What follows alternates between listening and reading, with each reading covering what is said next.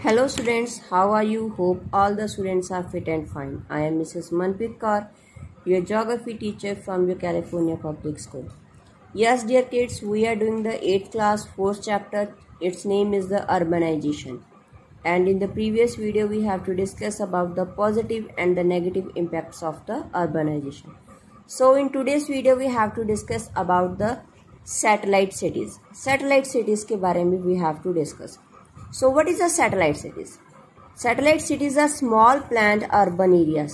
Urban areas होते हैं but small होते हैं. But small but well planned पूरी तरह से प्लान्ड होता है which develop near the big cities big cities के आसपास होती हैं. It actually helps in the growth of the main main cities की ग्रोथ होती है बेटा वहाँ से. और जो रीजन है क्रिएशन का सैटेलाइट सिटीज़ का, वो क्या है? कि मेन सिटीज़ में जो अनकंट्रोल्ड ग्रोथ है, उसे हम कैसे for the creation of to save उसे कैसे हम सेव कर सकते हैं? We have to save it satellite cities जो है, हमेशा इंडिपेंडेंट होते हैं मेन सिटी से. दे आर इंडिपेंडेंट उसके ऊपर डिपेंड नहीं होते. They are not the depending they are the independent and for example development of Noida near the Delhi Delhi के आसपास है नोएडा बट फुल डेवलप्ड है everything we have to find it and is controlled the growth of the Delhi और डेली की growth को वो control कर रहा है. Other example Salt lake city Kolkata के पास है. That is also Navi Mumbai और नवी मुंबई कहते हैं जिसे मुंबई के पास है. सैन डियागो लॉस एंजल्स के पास है यूएसए में। So these are the satellite cities मतलब मेन सिटी के आसपास वाला area that is called the satellite city so here are the some chief characteristics of the satellite city satellite city के कुछ करेक्टरिस्टिक्स हैं। जैसे सैटेलाइट सिटी और main city have the water body और a green belt between them उनके बीच में या तो कोई वाटर बॉडी आएगी, या फिर कोई फॉरेस्ट एरिया उसके बीच में आ जाएगा।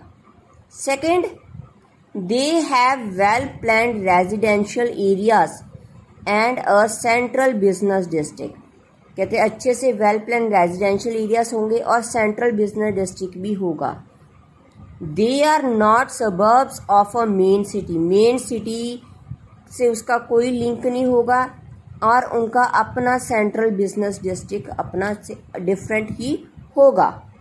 So satellite cities are equally important as the main city कहते जो सैटेलाइट सिटी हैं और मेन सिटी हैं, वो इक्वली इंपॉर्टेंट है. इकोनॉमिक पॉइंट ऑफ़ व्यू से. They have their own employment base उनका अपना एम्प्लॉयमेंट बेस होता है. They have their own employment base which is largely independent of the main city जो मेन सिटी से बिल्कुल अलग है इंडिपेंडेंट है। The satellite cities are linked to the main city by an efficient system of local transport कहते जो satellite city है, वो लिंक होता है मेन सिटी के साथ।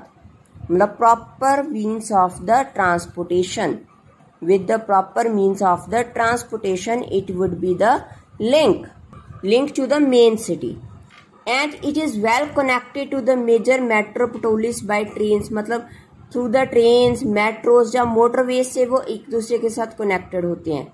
स्मॉल है मेन सिटी से।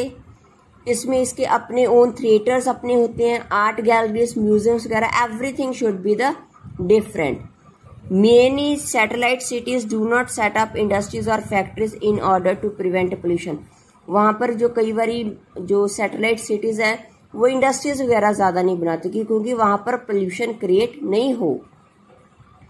Satellite cities mainly encourage setting up of the small scale industries छोटी छोटी इंडस्ट्रीज़ वो अपनी डेवलप करते हैं जैसे हैंडीक्राफ्ट पिकल मेकिंग और dairy farming and they set up their own municipalities अपनी जो म्यूनिसपैलिटीज है अपनी क्लीनिनेस है उसके ध्यान को रखने के लिए अपनी municipalities they have to be develop own self Next, people from the satellite cities generally go to work in the main cities and return to their homes at the end of the day कहते कई बार क्या है, जो satellite cities से जो लोग हैं main city में काम करने जाते हैं they have to be go to the main city for work for work but in the evening और end of the day they have to be return back to their home अपने घर को वापस वो आ जाते हैं they have to be return back so these are some we can say that the features और एडवांटेजेस क्या होंगी बेटा इसकी? सैटेलाइट सिटीज़ की एडवांटेजेस क्या हो सकती हैं? It provides its residents in superior quality living in the form of the road connection, electricity, water drainage और अदर इंपॉर्टेंट एनिमेटर्स जो भी हमें काफ़ी ज़्यादा चीज़ें चाहिए। वो सारी की सारी चीज़ें हमें प्रोवाइड करता है। It propels the growth of the local economy as it develop to be the mostly independent of its adjacent metro city जो कि इसके पास सिटी है मेन उसकी लोकल इकॉनमी को डेवलप करता है और उसे इंडिपेंडेंट बनाता है कि आपको टेंशन लेने की ज़रूरत नहीं, आप अपना काम करो।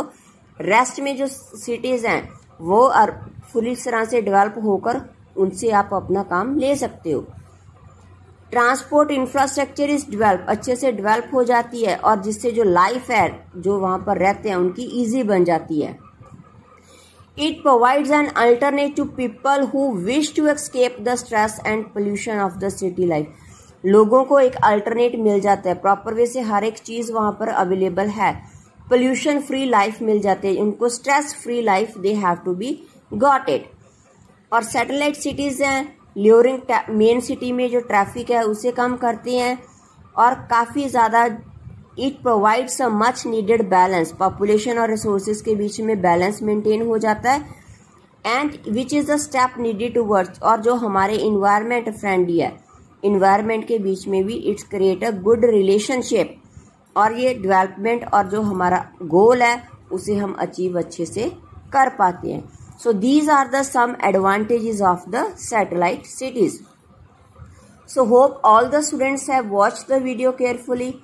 After that read from your book. So take care. Bye bye.